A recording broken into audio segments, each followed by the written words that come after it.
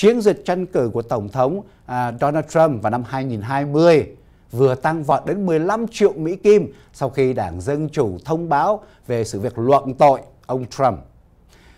Ông à, Eric Trump là con trai của ông à, Donald Trump. À, ông cho biết rằng trong vài ngày sau khi thông báo khởi động điều tra luận tội ông Trump của Hạ viện Dân Chủ thì chiến dịch tranh cử của Tổng thống Donald Trump đã tăng vọt lên thêm 15 triệu Mỹ Kim tiền tài trợ, chủ yếu là các khoản quyên góp nhỏ và tăng thêm hàng chục nghìn nhà tài trợ mới. Ông à, Eric Trump nói như vậy thưa quý vị. Hãy tiếp tục à, đi bà Pelosi và những cái thành viên trong Đảng Dân Chủ à, đang trao cho ông Donald Trump một sự chiến thắng trong cuộc bầu cử sắp tới năm 2020. Và trước đó thưa quý vị, người quản lý chiến dịch tranh cử của ông Donald Trump là ông Brad Parscale nói chiến dịch ông Trump và Ủy ban Quốc gia của Đảng Cộng Hòa đã tăng thêm được 5 triệu Mỹ Kim tiền tài trợ chỉ trong vòng 24 tiếng đồng hồ sau khi Hạ viện Dân Chủ thông báo tiến hành cuộc điều tra luận tội Tổng thống Trump. Theo hãng tin à, Breitbart cho hay rằng Tổng thống Trump cũng đã quyên góp được khoảng 8 triệu Mỹ Kim từ hai cuộc vận động gây quỹ ở New York vào tuần này.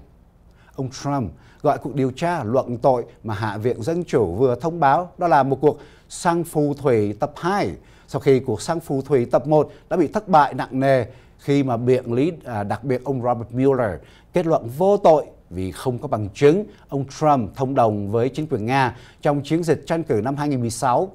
Tổng thống Donald Trump đã chỉ trích Đảng Dân Chủ đang cố gắng ngăn chặn ông vì ông ta chiến đấu vì nhân dân Hoa Kỳ. Ông nói rằng những gì đang xảy ra hiện nay là một vụ lừa đảo lớn nhất trong lịch sử chính trị Hoa Kỳ.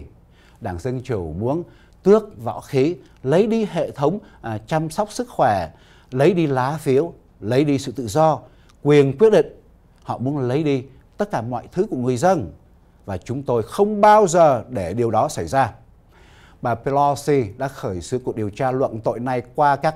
uh, báo cáo truyền thông về đơn khiếu nại nạc danh cáo buộc Tổng thống Donald Trump trong cuộc uh, nói chuyện điện thoại vào ngày 25 tháng 7 với người đồng cấp của chính phủ Ukraine là ông Volodymyr Zelensky và đã ép ông này tiến hành cuộc điều tra người cựu phó tổng thống Hoa Kỳ là ông Joe Biden. Chính quyền ông Trump đã cho công khai bảng uh, ghi lại cuộc uh, điện thoại, nói chuyện điện thoại giữa ông Trump và ông Zelensky. Và thưa quý vị, trong đó, ông Trump có yêu cầu ông Zelensky điều tra ông Biden. Tuy nhiên, Tổng thống Hoa Kỳ không có gây bất cứ một sức ép nào và cũng không vì bất cứ một cái tư lợi nào. Các người lãnh đạo của Đảng Cộng Hòa ở Hạ viện đã chỉ trích bà Pelosi ra quyết định khởi động sự điều tra luận tội Tổng thống mà chưa có giả soát kỹ các tài liệu có liên quan. Tổng thống Hoa Kỳ và những người phê bình khác thì cho rằng cuộc điều tra luận tội Tổng thống sẽ làm cho Đảng Dân Chủ không còn tập trung vào nghị trình lập pháp của họ tại Quốc hội. Trong khi đó, thì bà Pelosi trong cuộc họp báo vào ngày à, thứ Năm vừa qua vẫn khẳng định rằng cuộc điều tra luận tội Tổng thống sẽ không ảnh hưởng đến tiến trình làm luật của Hạ viện.